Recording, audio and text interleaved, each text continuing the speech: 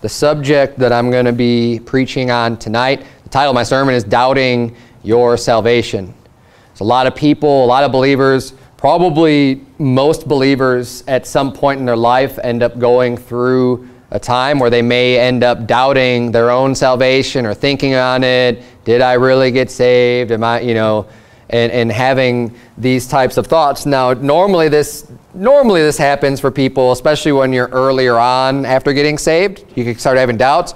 Or maybe you hear some preaching on a subject that might rattle you or shake you. You hear some real hard preaching and you start wondering, whoa, wait a minute, you know, did I, did I not do something right? Did I, you know, did I really get saved? You know, and um, I want to cover multiple issues when it, when it comes to this and hopefully be able to, to provide some reassurance.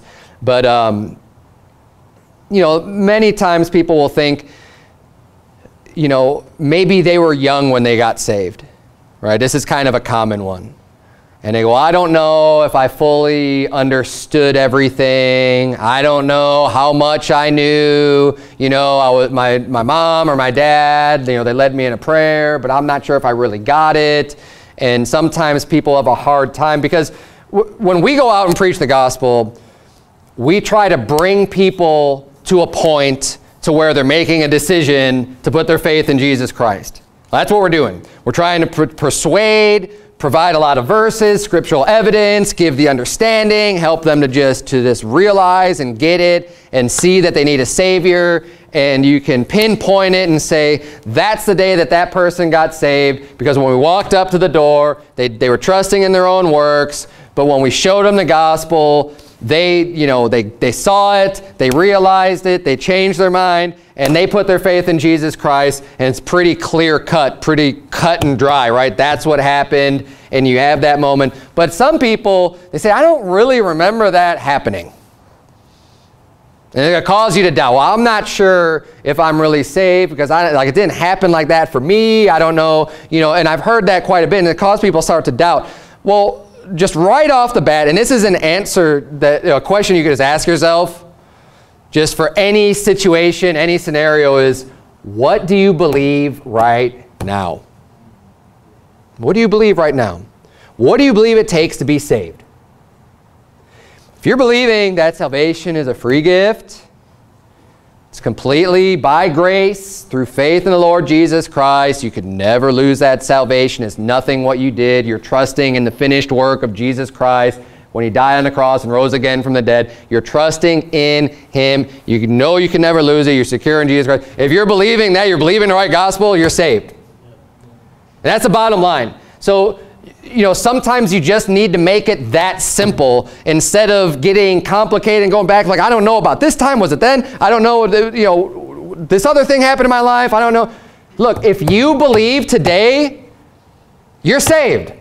And it doesn't matter when the time was that you actually made the decision and put your faith in Christ.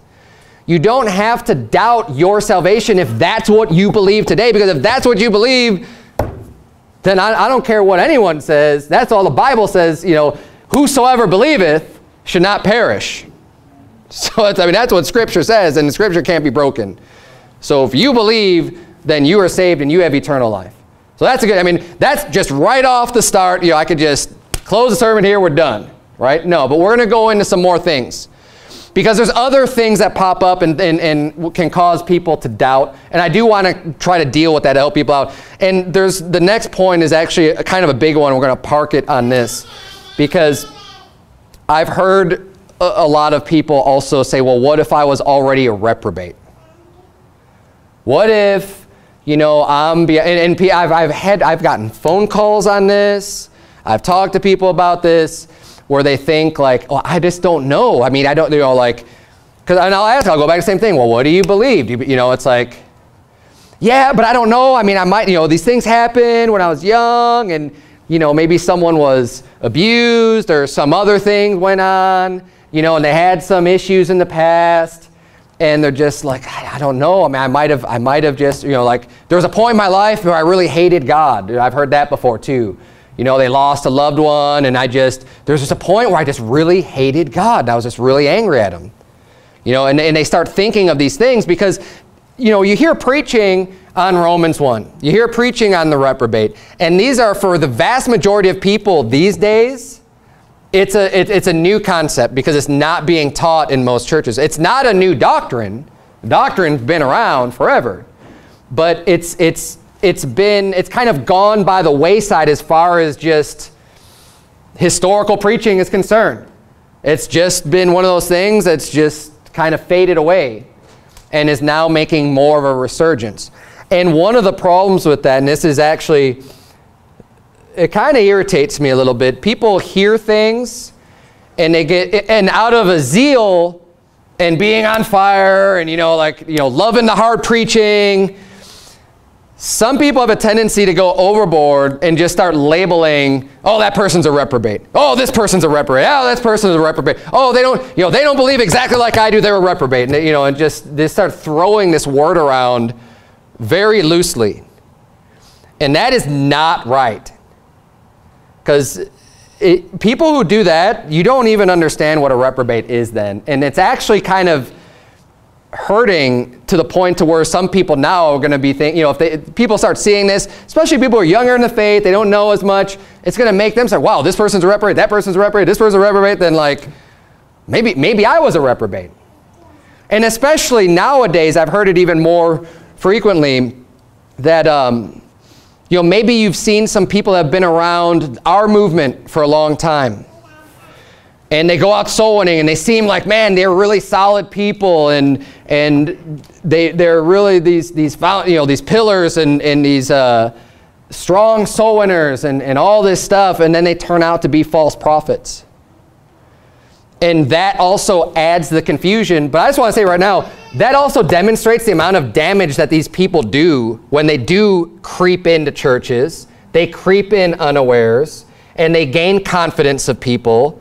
And then when they're finally exposed as being a false prophet, that causes people to think, oh, wow, well, I, I just had so much trust in them. Then they start questioning themselves. And I call it the, the Lord, is it I mentality to keep your place here in 1 Timothy 1, I'm getting a little bit ahead of myself, but turn, if you would, back to um, Matthew 26.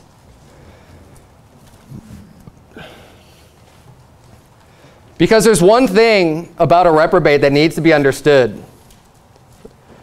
They're wicked from the beginning.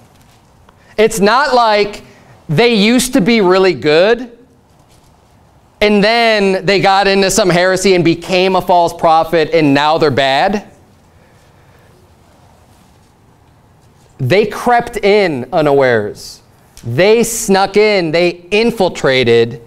And when we think about an infiltrator, a person doesn't infiltrate unless they have bad motivations from the beginning. That's what a, you know, a treacherous person does. They're not sneaking in and creeping in unawares with only good motives from the beginning. Because then, then they don't have to creep, right? They don't have to be sneaky about it. And this is one thing that we, we need to recognize and understand about the reprobate is that they are bad from the beginning. Like Jesus said of Judas, he was a devil from the beginning. But Judas was, was so good at keeping his cover that nobody suspected him. And he was with Jesus Christ's ministry for three and a half years. And remember, we read this morning about Jesus Christ saying, you know, when people said they wanted to follow him, he's like, well, I don't have a place to stay and all this other stuff. Well, his disciples did follow him. The 12, the apostles, they were with him, traveling with him. And they did stay out where he stayed out. And they spent a lot of time together. And they devoted their whole lives into doing this. And one of them was there the whole time as a devil. But in all outward appearances, nobody was, no one was the wiser on who he was on the inside. So much to the point to where Jesus is just about to be crucified and he's having that last supper with his disciples. And he announces saying, hey, one of you is going to betray me. Look down at verse number 21 in Matthew 26. It says, And as they did eat, he said, Verily I say unto you, that one of you shall betray me. And they were exceeding sorrowful, and began every one of them to say unto him, Lord, Is it I? They're not, no one else is coming to mind saying, yeah, you know, I've been suspecting that person. They've been acting kind of funny. They're kind of weird. Because they can't think that way on anyone else, they're saying, is it, is it me? Am I, am I, the, am, am I going to do it, Lord? Like, because they don't know how to feel against someone else. They can't, they can't see that being in anyone else. That they just have to question themselves. Like, maybe, maybe, I'm, maybe that's me. But the thing is, every one of the disciples, they were honestly asking that question, except for Judas. Why? Because Judas already knew that he was the traitor. If you jump up earlier in this passage, it says in verse 14, Then one of the twelve, called Judas Iscariot, went unto the chief priests and said unto them, What will you give me, and I will deliver him unto you? And they covenanted with him for 30 pieces of silver, and from that time he sought opportunity to betray him. So all of them said, Is it I? Is it me? Including Judas. But Judas already knew that it was him. So you see, everyone else out of a pure heart is just going, wow, you know, like, am I going to be the one to do it? Honestly, not knowing and just asking. But Judas already knew. Yet he still faked it. Why? Because everyone else was doing it. This is what I'm supposed to be doing. Oh, uh, yeah, well, is it me? Yeah, it is you. And you know that it's you. See, Judas knew from the beginning, yet he's still playing along. Judas was a thief from the beginning. He had the bag. No one suspected him, but he was rotten from the beginning. And his people that may have been around for a while that end up becoming exposed because eventually the wolf shows their fangs. Eventually, the reprobate does become known. Eventually, they drop their cover when it's, when it's at the point, whatever, when they think that they're going to be able to do damage. Because the whole point is to come in and to creep in and to do damage and, and hurt churches and hurt the work of the Lord. Then that's when it's going to happen. And there's, there's different ways that, you know, methods that these reprobates will use to do this.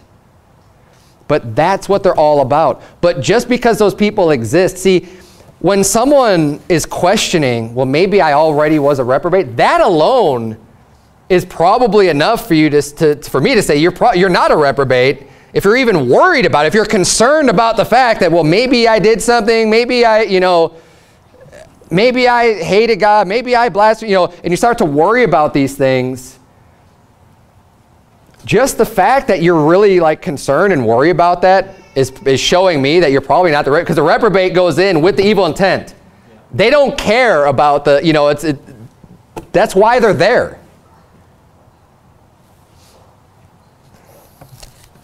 But going back to just throwing that word around, someone who's a reprobate is not your average, and go back if you would to 1 Timothy chapter 1. This isn't any unsaved person, first of all. And second of all, it's not even just people who are really bad sinners. They're just automatically a reprobate. Most reprobates you're not going to be able to identify. Now, some you can. The Bible gives us some clear uh, outward expressions of someone who's already been given over to a reprobate mind. So for example, Romans 1 talks about, you know, men with men and women with women are burned in their lust, one towards another, you know, working that which is unstable. And the reason why they're even doing those things because God gave them over to a reprobate mind. So someone who's burning in their lust, a man with a man or a woman with a woman, and they're just, I mean, that's like, you know, I don't want to get and talk anymore about that. Someone who's like that, that now has become obvious. Well, you've been given over to the reprobate mind. Someone who is into children, a pedophile, you know, obviously, okay, yeah, they've been given over to this reprobate mind. The other reprobate that the Bible gives us a lot of detail about would be a false prophet. In 2 Peter chapter 2 in the book of Jude. And that's where it's talking about, that's with the reprobate that we're, we've been seeing more recently that have been creeping into the good churches and coming out with these, these damnable doctrines and preaching another Jesus and, and, and really doing damage on that front. and denying the Lord that bought them. Okay? But we need to be careful just because some of these situations have come up, not to be too quick to pull the trigger on just uh, pronouncing somebody a reprobate. Because you think about, I mean, there really is nothing worse that you could call someone than a reprobate. I mean, there is, you are just totally rejected of God. And that is going to impact how you deal with that person, how you view that person. When if you think that someone is just totally unsavable, I mean, you see the scriptures, you know, do not hate them, Lord, that hate thee. And, and you see that. So if you're going to go that route with someone, you better be sure and confident that you know that they are who you think they are, but that they, that they are actually a reprobate. And you better, you know, my, my standard for, you know, pronouncing someone a reprobate is very high. Like there, there's a very high limit or threshold that they have to cross. I need to see evidence that like, yes, this is that person. And here's why, especially when it comes like a false prophet type of person. We look at the Apostle Paul. Was the Apostle Paul a reprobate? No, of course not. It's ridiculous to even think that he would be. But when we look at the Apostle Paul's life, you, and we need to remember this, the things that he did before his salvation, if you just looked at his actions, and if you saw that and said, oh man, that guy is a reprobate, then you need to take a look at yourself and your own pronouncement of who you say is a reprobate. He attacked the church of God. He was an enemy of the church. He would go in pretending to be, you know, a saved person. Oh, hey, brother, and then go in and have those people arrested because he was going around trying to stop what the disciples were doing. Is pretty bad. And he was witness to murder and covered it up. So he, he was involved, and he was a Pharisee. You say, oh, well, he's a false prophet then. But no, he wasn't. There's a difference, and here's the key. And this is why it's so hard to determine who a reprobate is and who isn't sometimes, is because the key is it has to do with their heart. The Apostle Paul, and we're going to read this passage again in just a minute, he did it ignorantly. All the sins that he was committing, all these outward signs where someone might say, well, that person's a reprobate because look at what he did. The reason why he wasn't a reprobate is because he, was, he, he literally was thinking that he was serving God and he was doing this ignorantly in unbelief. He didn't reject the gospel. He didn't reject God. He didn't hear the gospel and just refuse it. He never understood it and knew it. He fought against it, but he did it ignorantly. It means without his knowledge. When you read Romans 1, Romans 1 says, because that when they knew God, they glorified him not as God. The reprobate knows God. They've heard, they've rejected, they hate God. That's the reprobate. There's a big difference between that and someone who just doesn't know better.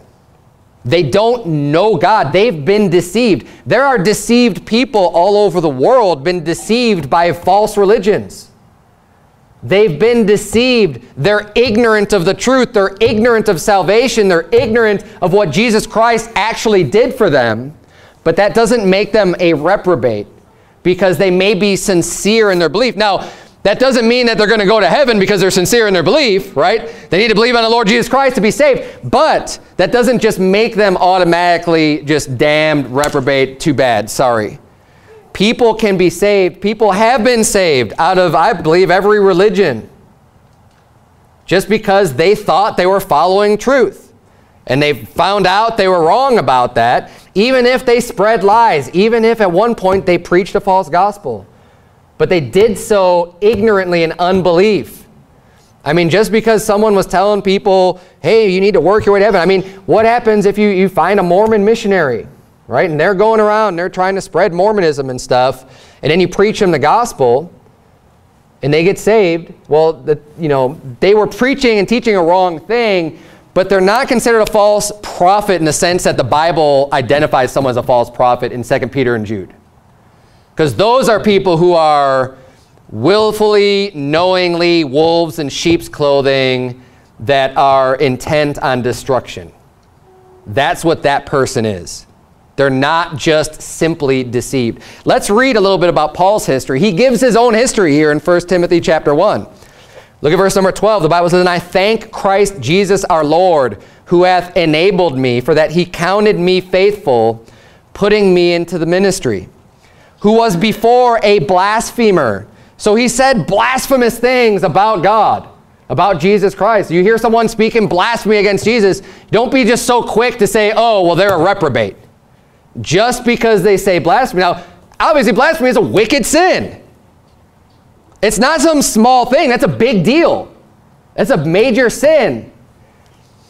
He said, and that's the first thing. It was before a blasphemer and a persecutor. So he's persecuting the church and injurious, like literally causing harm and injury. But I obtained mercy because I did it ignorantly in unbelief. He was able to obtain that mercy because he wasn't just intent on destroying God because he, you know, God's people because he hates God. He thought that they were wrong, sincerely. Like he, he sincerely thought that, that what he was doing was right and was just deceived by that, by that false religion. And then it says in verse 14, And the grace of our Lord was exceeding abundant with faith and love which is in Christ Jesus. This is a faithful saying and worthy of all acceptation that Christ Jesus came in the world to save sinners, of whom I am chief. Howbeit for this cause I obtained mercy, that in me first Jesus Christ might show forth all long suffering, for a pattern of them which should hereafter believe on him to life everlasting. He's saying that he was like one of the things that God was showing with the Apostle Paul being saved is his long suffering. How merciful God really is to allow people to sin and sin and blaspheme and do all of these sins and still have them, give them the opportunity to get saved. And he's, a, he, he's, he's using himself as a living example of someone he's like, wow, remember me when you're looking at other people. His, remember that Christ Jesus came in the world to save sinners. Because we need the proper balance as we hear all the hard preaching on sin, on the fornication, on the wickedness, the lasciviousness, on all these things, that we need to get this wicked sin in our life. We need to hate that sin. We need to just, just have nothing to do with it and live a righteous life. We need the balance of remembering, especially the more righteous you get, the more you get that out of your life, that you can't just now, because you feel so holy and righteous, start labeling everyone else a reprobate. Oh, I can't believe that they blasphemed. Oh, I can't believe that they're a drunk. Oh, I can't, you know, whatever. And start, start looking on people in, in, a, in a proud manner and just start labeling people reprobates because they're in, engaged in a behavior that, that is not right or that's wicked. Now, I mentioned before, we're not, I'm not talking about the, the out and proud homo and the pedophile, you know, and the people that are clearly identifiable as being given over to the reprobate mind. But we need to keep that balance of while we want to keep ourselves unspotted from the world, remember that, hey, we're also sinners, and Jesus Christ came in the world to save sinners, and we need to be giving people the benefit of the doubt like as much as humanly possible. I mean, I need to know, unless, you know, when I go out soul winning, I am almost positive sometimes that there's someone that's, that's a sodomite and if I know that they are, I'm not going to waste my time with them. Okay, just so you understand that. I don't cast my pearls before swine. And I'm not going to try to save someone that God's already rejected. However, there are men that can be effeminate and deceived. And there's been so many people where I'm just like, well, I don't know, are they or not? If you're ever on the fence or if you ever have a doubt and not quite sure, you always love them enough to give them the gospel. Always. Because if you don't know, I mean, you can't make that call. Now, if someone shows up and he's like, hey, yeah, my husband wants to hear this too, and it's a guy, all right, see you later. Actually, give me my invitation back because you're not, you're not welcome. That's fine. That's appropriate. But in, in many situations, though, you're not going to know that. You just won't. You might have suspicions. You might think, well, I don't know. And I remember so many times my soul problem, like, was that guy a fag? Is he, you know, like, I don't want to waste my time, but I don't know. And they're like, yeah, I think so. And I was, you know, but, but you, need, you need to have that level of just give them the benefit of the doubt. Because, you, know, there's so many times where you're not going to know. But um, that's kind of a little rabbit trail. I don't want to get too, too more involved in that. But uh, doubting your salvation, right? So, you know, uh, one more point on that, because when it comes to people doubting their salvation, maybe someone has had, and I don't like getting too deep into this because people always want to push you, say like, you know, do you believe that all homos are reprobate? Yes, I do. I do. I believe that. But people always want to try to pin you down. Well, what about if this, you know, and they just want to go down to see like, where is that dividing line? And that's a foolish question, and I'm not going to go down that path. But I, I'll speak on that this much. There are things that, there are acts that I believe that can be committed between two people that are, that are hor horribly abominable acts that just because the act has been committed doesn't make that person a reprobate. For example, someone being, you know, abused, right? The person being abused, that doesn't make them a reprobate. But I've also seen situations, not like, not like physically firsthand, but known of situations where people, maybe a lot of drinking and drugs have been involved, and there have been some things that have happened as a result of that, people not being in the right frame of mind, but they still think like, yeah, that's gross, that shouldn't, you know, that's not who I'm just proclaiming to be a reprobate. Okay, and I'm just going to leave it at that because there's no point in just starting to nitpick.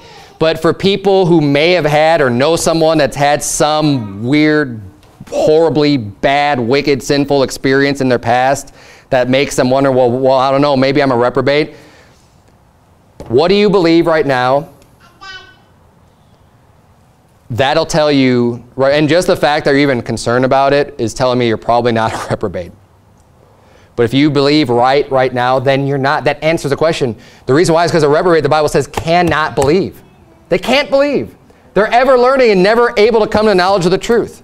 It doesn't matter, no matter how much they even, even if they want to believe. Like Esau found no place of repentance, though he sought it carefully with tears. It doesn't matter. They just can't. Once you're given a reprobate mind, it's impossible to believe. And if you believe, then that's saved, and that should settle it. Another thing that people, um, well, here, actually turn, turn to John chapter 12. I forgot I had this in my notes. John chapter 12. I'm just going to prove that to you, that they can't believe.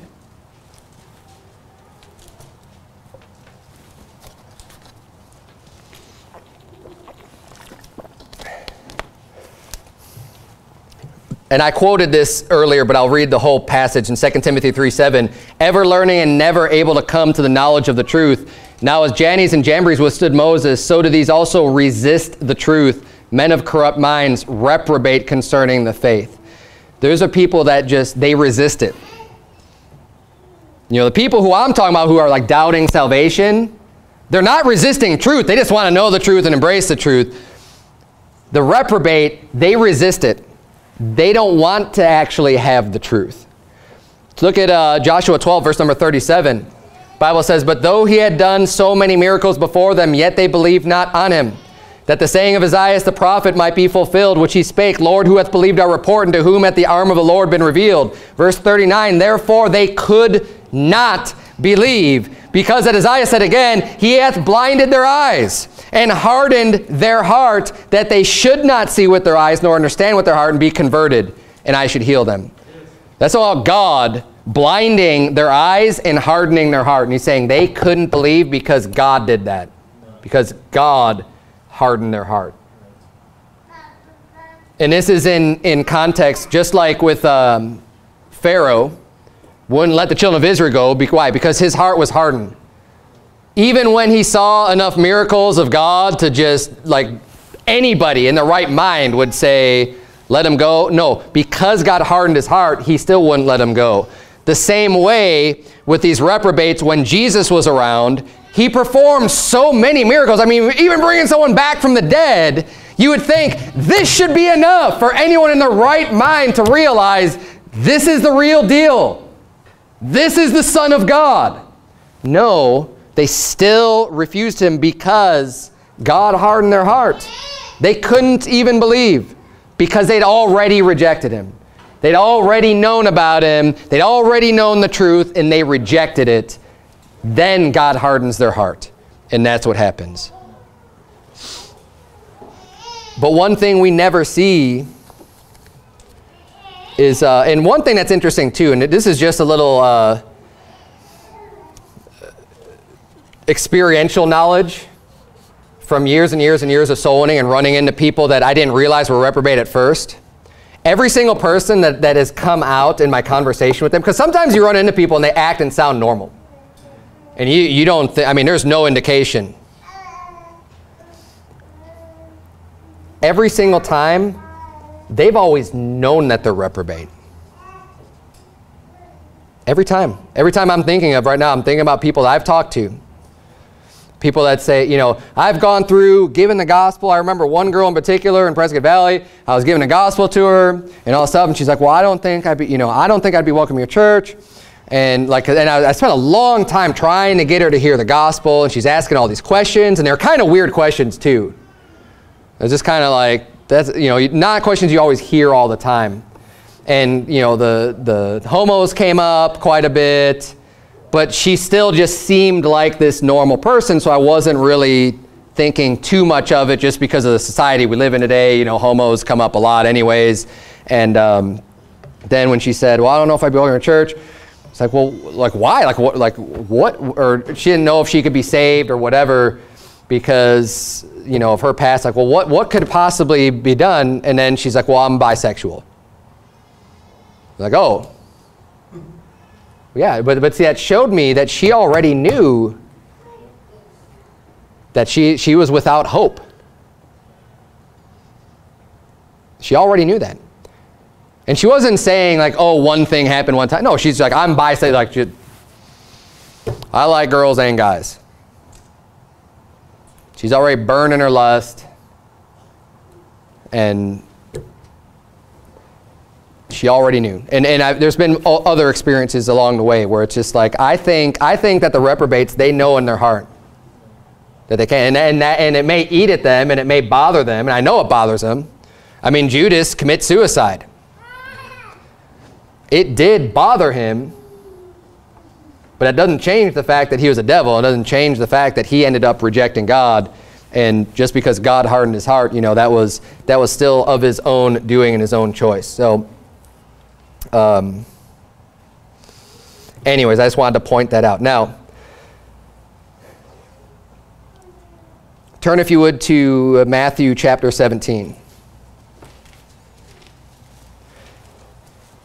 Because one of the things that people, shifting gears here, doubting salvation. You know, I brought up a lot, well, what do you believe right now? What do you believe, right? And people say, one of, one of the things I've heard about people doubting their salvation is like, well, I don't know if I really believed enough. You know, like, yeah, I believe it, but I don't know if I'm quite believing enough. And, they, and, they, and it's sad, but people will complicate the gospel more than it really is. It's a very simple concept. And especially for those of us who are very secure and you know settled on, on our salvation, yeah, it's a really easy thing. I mean, I just believed, you know, you're not trying to make it hard. But some people will, will get so concerned and worried about this that they really start microanalyzing like, well, what, did, did I believe right? Did I believe everything I needed to believe? And did I believe enough?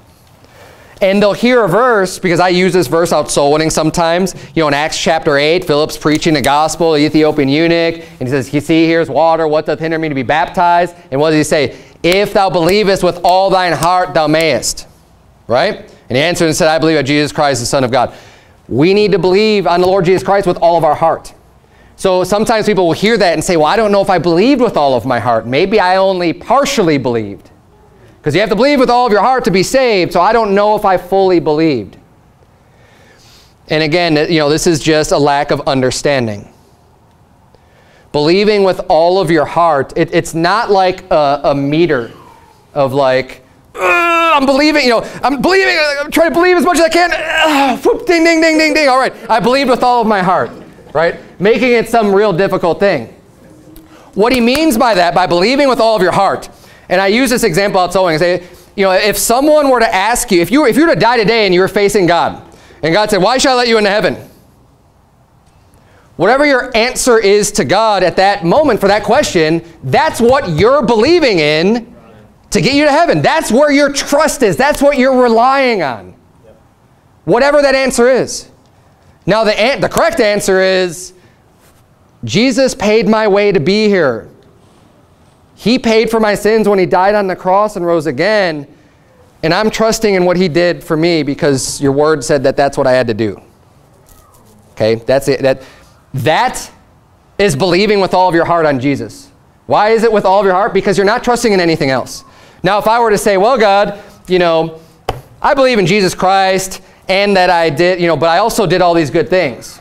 And I went to church and I prayed and I preached and I did this and I did that. Well, all of my faith isn't in Jesus, so I'm not believing on him with all my heart. I've split it up into, into multiple things. So it's, it's not this did I believe enough? It's just basically, is that your only belief? Because if that's your only belief, then you are believing it with all of your heart. Does that make sense? And when it comes to, you know, a quantity of faith, in Matthew 17, I had you turn there, look at verse number 19. The Bible says, Then came the disciples of Jesus apart and said, Why could not we cast them out? And Jesus said unto them, Because of your unbelief, for verily I say unto you, if ye have faith as a grain of mustard seed, Ye shall say unto this mountain, Remove hence to yonder place, and it shall remove, and nothing shall be impossible unto you.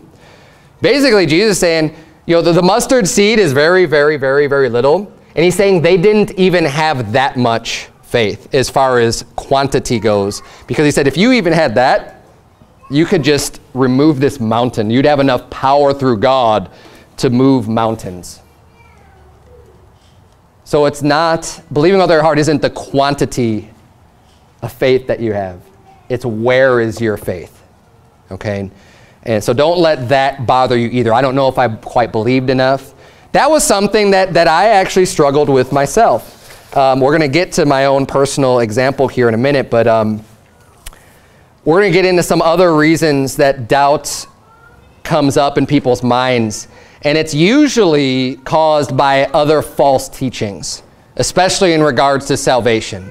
But false teachings in churches will get people to start questioning their own salvation. Turn uh, back to Matthew chapter 7, and we're going to see a very common one where people, how many people, how many people have heard this? Raise your hand if you've heard this before that um, you can tell if a person is saved based on their fruit. You've heard that before? Yeah. Pretty, almost everybody has heard that before. That teaching is, a, is just a total twisting of what the Bible says in Matthew chapter 7. So what they like, what people like to do is just read Matthew 7:20 that says, "Wherefore by their fruits you shall know them." See that What's their fruits? Well, when, when someone does good things, well, obviously they're saved. And when people are doing, committing sin and doing bad things, you know, then they must not be saved. Well, now you're basing salvation on your works. Of course people are going to be confused and doubting their salvation if it has to do with your works. That's why every person we walk in, we run into out soul winning that's trusting in their works is going to tell you, well, of course I don't know for sure that I'm going to heaven if I die today. I mean, how could you? I don't know if I've done enough because they're trusting in their works.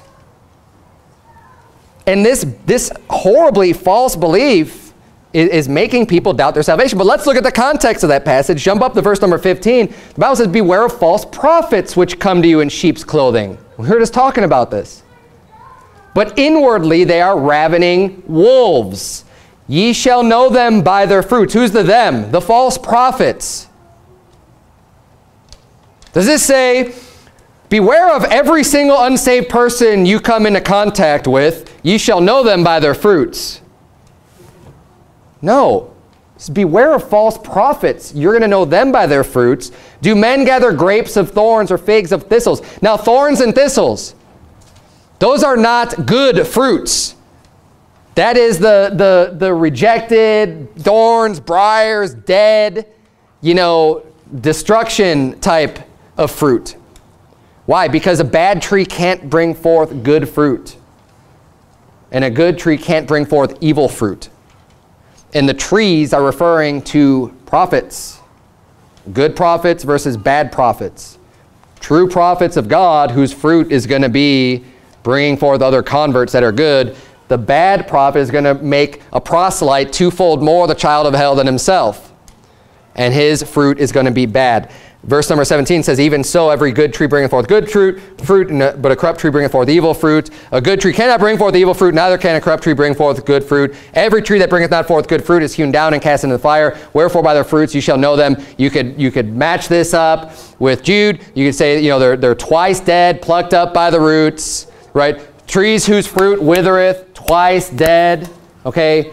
It's the exact same type of person. It's the false prophet. That's who you know by your fruits, not whether or not a person is saved or unsaved. It's too much of a leap. Because this is, this is talking about judging who's the reprobate, the false prophet.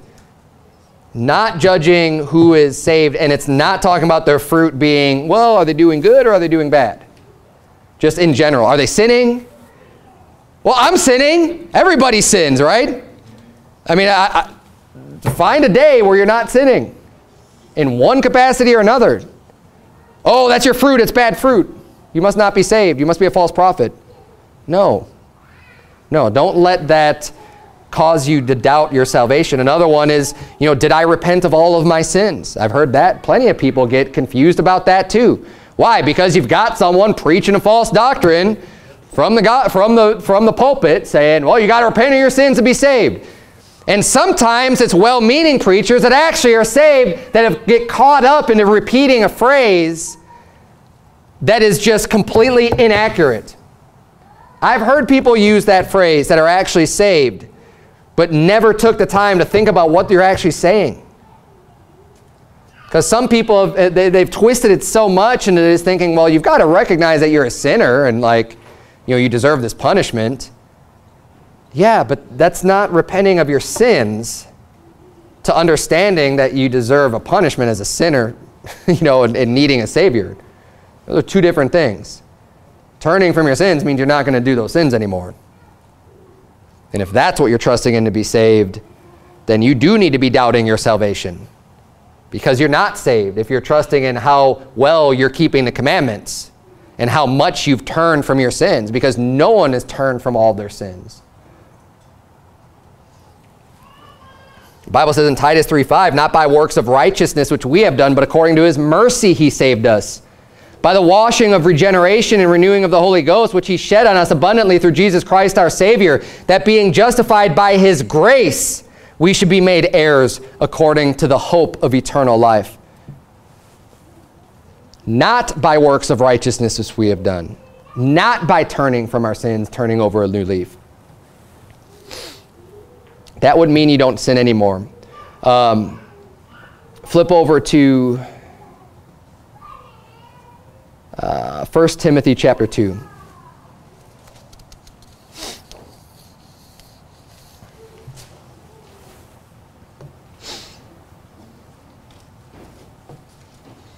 Ultimately, if you're looking at your sins and questioning your salvation, then what you really ought to question is what are you trusting in to be saved?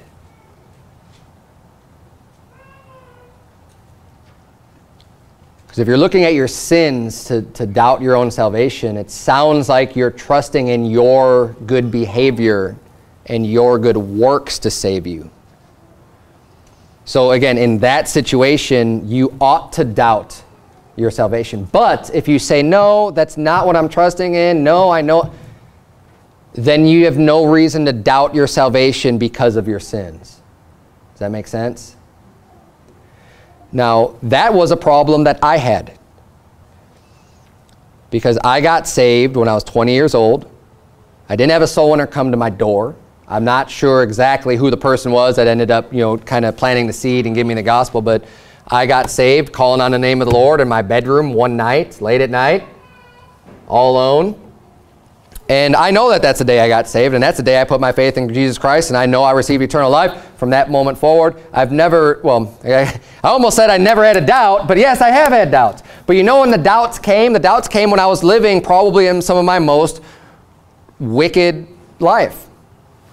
And the reason why I doubted was because I just asked myself, but see, my source of doubting, it wasn't because I was trusting in my sins. It was, my, my question was, how can I say that I believe this book when I'm doing all of these things that it says not to do?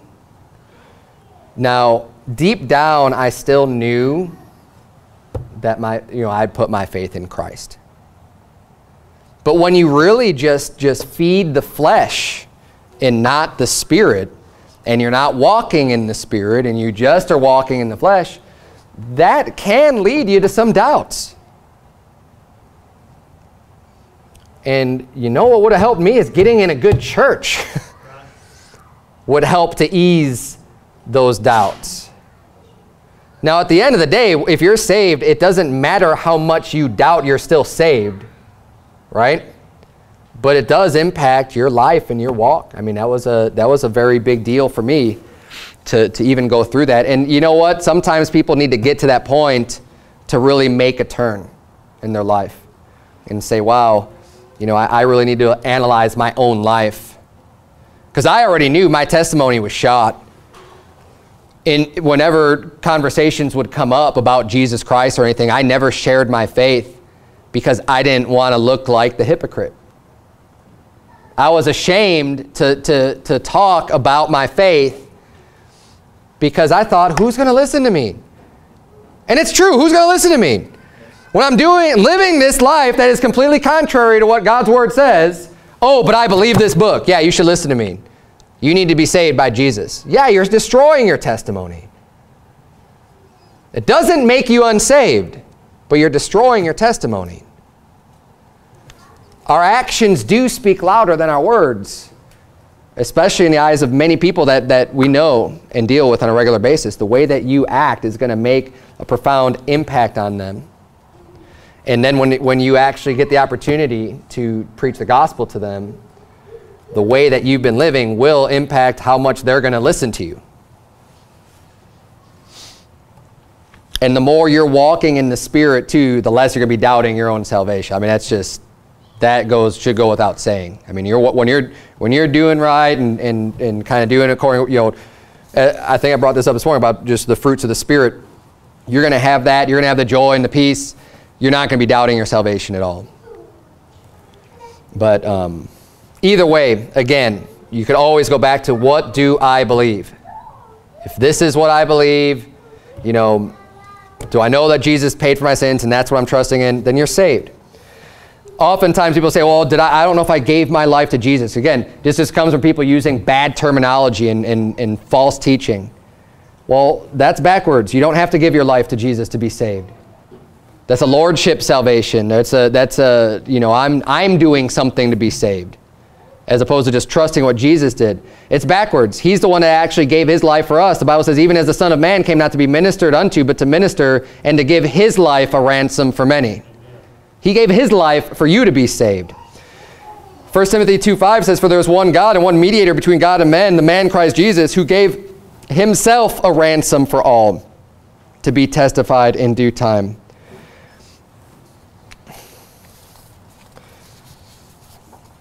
Is that right? Did I have you turn to 1 Timothy chapter 2? Well, that, that was the reference. Verse number 5 and 6. Turn to Romans chapter 7. Sorry, I had you turn there so long ago, I didn't even remember that I had you turn there.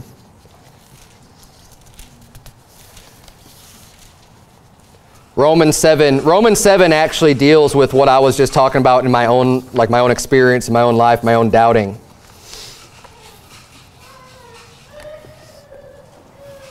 Romans 7 will help you to understand how you can actually still be saved and believe in Jesus and still commit sin. And how the two it, how it's possible to have the two together. Yes you're acting like a hypocrite. You are. You absolutely are. But that's still totally reasonable and, and it's part of reality that you can have both exist at the same time because some people will try to tell you oh no you can't have both you know, if you really truly believe, then you, will, you know, all things will become new and you won't sin and you won't do those things you used to do before. Yes, you will. Or you can. I'm not saying you absolutely have to. You, you know, some people will, some people won't. But, but that doesn't make you unsaved if you do those things. Romans chapter 7. Let's read the Bible here, get some more clarity. Verse number 13. Romans chapter number 7. Bible says, Was then that which is good made death unto me? God forbid, but sin that it might appear sin, working death in me by that which is good. That sin by the commandment might become exceeding sinful. For we know that the law is spiritual, but I am carnal, sold under sin. For that which I do, I allow not. For what I would, that do I not, but what I hate, that do I. Now, this is a little bit of a tongue twister, kind of, you know, trying to think of what he's saying here, especially because he uses words like would. Would just means what I want to do. So when you read that word, would is just this, it's my will, it's what I want to do. And he's saying, that which I do. So what I'm doing is not what I really want to do. He's saying, I allow not. Like I, like I don't want to sin. I'm doing it anyways. But the things I do, I don't want to do those things inwardly, right? But outwardly, I'm actually doing them. And then he says, but what I would, the things I actually want to do, the, you know, really me on the inside, spiritually, he says, I'm not doing those things. I do not those things. But what I hate, that I do. So he's bringing up this conundrum. Like, why am I doing this stuff? I don't want to do this stuff. I don't want to sin. I don't want to be involved in this activity, but I'm doing it anyways. And then the things I really want to do, man, I really want to go serve God. I really want to. I'm not doing all those things. Why not? Verse number 16, if then I do that which I would not, I consent unto the law that it is good. So now at first he's just saying, look, if I do those things I don't want to do, the law is still the law. The law is still good. It's not the law's fault that I'm doing bad things. The law is great. It's the law of God. It's perfect, converting the soul. Verse number 17, Now then it is no more I that do it, but sin that dwelleth in me. For I know that in me, and he clarifies, that is, in my flesh, dwelleth no good thing. For to will is present with me. So what I want to do is present with me, but how to perform that which is good I find not. For the good that I would, I do not, but the evil which I would not, that I do. Now, if I do that I would not, if I do those things I don't want to do, is what he's saying, it is no more I that do it, but sin that dwelleth in me. I find then a law that when I would do good, evil is present with me. For I delight in the law of God after the inward man, but I see another law in my members, warring against the law of my mind and bringing me into captivity to the law of sin which is in my members. Remember when we are talking about, you know, and you shall know the truth, talk about being disciples, and you shall know the truth, and the truth shall make you free. This is the bondage that he's talking about. He's giving us insight into what is going on in our minds and in our bodies, in our spirit versus the flesh. He's saying, in the spirit, because you're saved, because you're born again, you want to do what's right. You want to do what's good. And me, personally, genuinely, I wanted to do what's right. I can say that I love God in my heart, but in my actions, I wasn't doing that. I was committing sin. I was doing all these things that were wicked. I was doing things I didn't really want to do. Now, my flesh wanted to do those things. So the way that we reconcile this is that, yes, I'm still saved. My spirit is still saved, but my flesh is still wicked. So when I'm indulging the flesh, that is the flesh coming out and me yielding to the flesh, which is still wrong. It's not absolving responsibility, but it's explaining how these things happen. It should give you the understanding. Now, I wish I had known this or read this during that time in my life. It would have helped a little bit to understand, well, that makes sense. The reason why I still actually do believe and I'm saved, I don't need to doubt my salvation, is because inwardly I do want to do good things. But my flesh is kind of is leading me into this sin. And, and until we lose this wicked, sinful flesh, we have that battle and that struggle every single day. But we know that that's real. We know that that flesh is going to drive us to sin. And if you're losing that battle and, and you're, you're being brought into bondage of sin, that doesn't make you unsaved. You're not a disciple, right? Being a disciple, you know the truth. The truth is going to make you free from that bondage. But thank God you don't have to be a disciple to be saved. And this is the Apostle Paul speaking. Let's reread here. I think it was verse number 22. For I delight in the law of God after the inward man, but I see another law in my members, warring against the law of my mind, and bringing me into captivity to the law of sin which is in my members. O wretched man that I am, who shall deliver me from the body of this death? I thank God through Jesus Christ our Lord. So then with the mind I myself serve the law of God, but with the flesh the law of sin. These are all words coming out of the Apostle Paul's mouth, right, or in his writing here. Obviously, it's the Word of God, but I'm no Apostle Paul, but when I could see someone like him having this come out and explaining, you know, man, I, I really just want to do what's right and good, it's kind of like, you did a lot of what's right and good. What do you mean you're not doing what's right and good and the things that you, you allow, you know, you allow not, you're doing those things. But he's giving us the explanation of, of how all of that works and how that happens, and that we don't need to doubt our salvation um, just because we've, we've been brought under bondage of sin.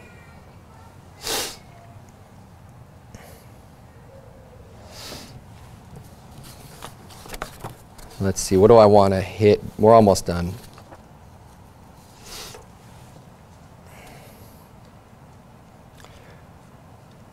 Last place I'll have you turn is 2 Timothy chapter number 2. 2 Timothy chapter 2.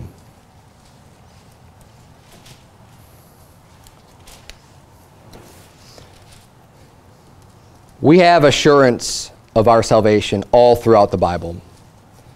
God promises that we have eternal life. He promises to preserve us. And this kind of gets a little bit more theoretical, but the question comes up sometimes out soul where someone will ask you, you know, well, hey, if, if, if believing on Jesus Christ is all that you need to be saved, well, what happens if you stop believing? What happens if you turn your back on God, right? Well, I don't know if, I, if you turn your back on God, though, you're not, you're not saved. Well, according to Scripture, you actually are.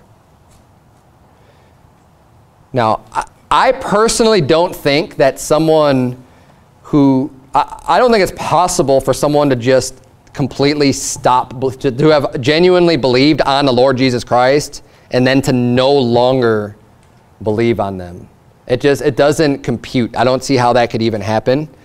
And I, I think that like once you believe, you're, you know, you're, you're, the Spirit of God bears witness with your spirit that you're a child of God. Like, like I don't see how you cannot know that.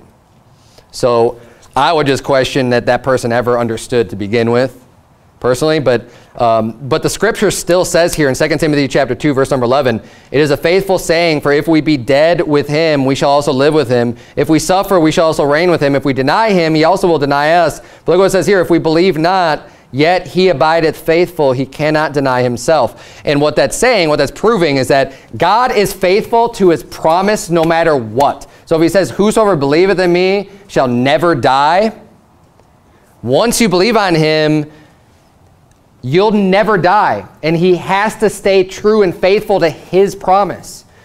John 5, 24 is a verse I like using most out soul winning. It says, Verily, verily, I say unto, unto thee, who, uh, verily, verily, I say unto you, he that heareth my word and believeth on him that sent me hath everlasting life and shall not come into condemnation, but is passed from death unto life. Past, present, future tense. All tenses. You're saved.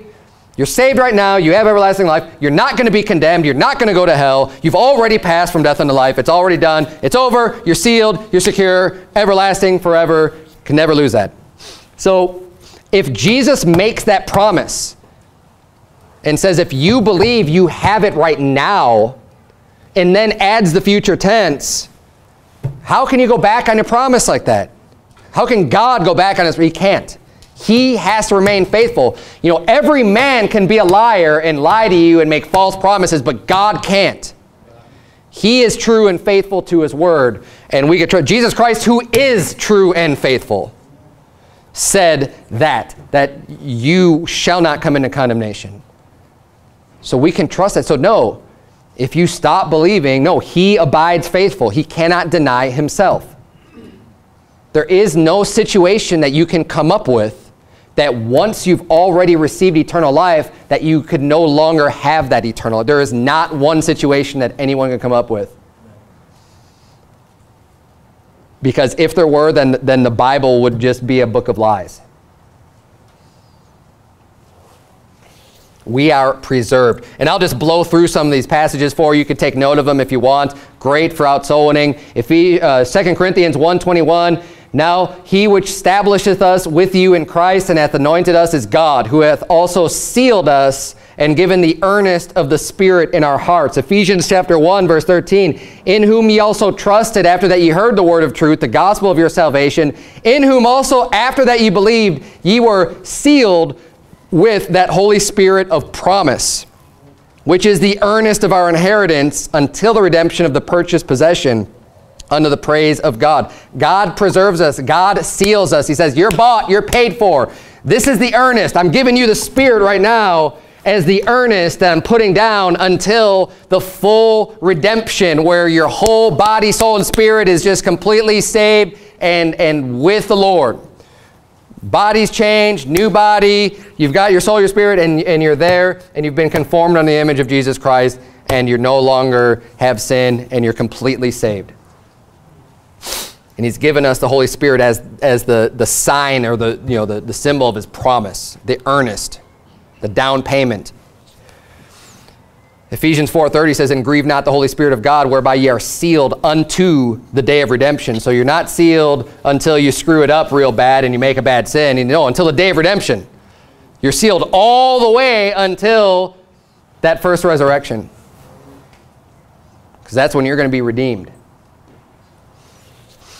John 6.37, All that the Father giveth me shall come to me, and him that cometh to me I will in no wise cast out. You've come to Jesus, you put your faith in him. Jesus said, I will never, I will never cast you out. I will never leave thee nor forsake thee. I will in no wise cast him out. Verse 39, And this is the Father's will which hath sent me, that of all which he hath given me I should lose nothing, but should raise it up again at the last day. And this is the will of him that sent me, that every one which seeth the Son and believeth on him may have everlasting life, and I will raise him up at the last day. It's a promise. I mean, promise after promise after promise. We could see all these scriptures are clear. We don't have any reason to doubt. Reasons people doubt? False doctrine, usually.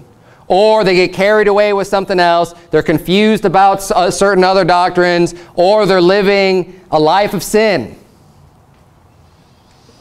and they feel, you know, you feel like you're kind of separated from the Lord. Just because you're just doing all these things, you don't feel like you're, you're very spiritual, because you're not. You're not being very spiritual if you're living a, a life of sin.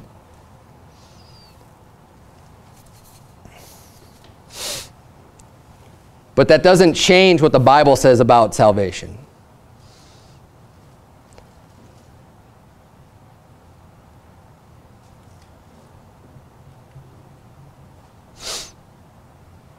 We'll close on this, this passage. 1 Peter chapter 1, verse 13. You don't have to turn there. The Bible says, Blessed be the God and Father of our Lord Jesus Christ, which according to his abundant mercy hath begotten us again unto a lively hope by the resurrection of Jesus Christ from the dead, to an inheritance incorruptible and undefiled, and that fadeth not away, reserved in heaven for you, who are kept by the power of God through faith unto salvation, ready to be revealed in the last time. God is the one that keeps us. And God's the one who promised he's not going to throw you away. You're never going to be cast out. We don't have, uh, you can doubt every man in this world. But you have no reason to doubt God. God's not a liar. If you're, if you're willing enough to trust Him with your soul, if you could put your soul into His hands, then you ought to be able to believe Him at His word. Why would you entrust your soul to someone you can't believe? That you think might be lying to you? Well, if you've entrusted God with your soul, believe His word. Take comfort knowing that He saved you and He gives you eternal life. And you'll never die. That's a good promise. It's about right to have a word of prayer. Dear Lord, we thank you so much for the assurance that we can have of our own salvation, dear Lord. I pray that you would please help. You know, I, I don't know where everyone is at in this room spiritually, dear Lord, but that um, your words will be a blessing unto them. Or maybe in the future, if, if people, you know, end up backsliding or straying away, that, that you'd help them to remember these words of encouragement and, and um, one to realize, you know, that salvation is, is by grace through faith. It's eternal. They can never lose it. To receive comfort from that and just to allow that to, to bring them back and to be guided back into, into good standing with you, dear Lord. And God, we thank you so much for this your, your free gift. And Lord, I pray that you would please help us uh, that love you and are zealous towards serving you to not um, be inappropriate in our application of. Uh, you know, when it comes to people being reprobate or things like that, Lord, that we would extend the same amount of long suffering and mercy and um, that, that, that you would, that the example that you give us, dear Lord, that the, the love that you've shown to us, uh, I pray that you please help us to be able to exhibit and, and reflect the same amount unto others, dear Lord, and that we would be very careful with. Uh, our application of the knowledge that we have of, of different types of people and, and, the reprobates, dear Lord, that you would help us not to, um, you know, falsely identify somebody as being a reprobate when they're not, because that's that is a, a very big deal, Lord, and just give us the wisdom and discernment to to make righteous judgments. In Jesus' name, we pray.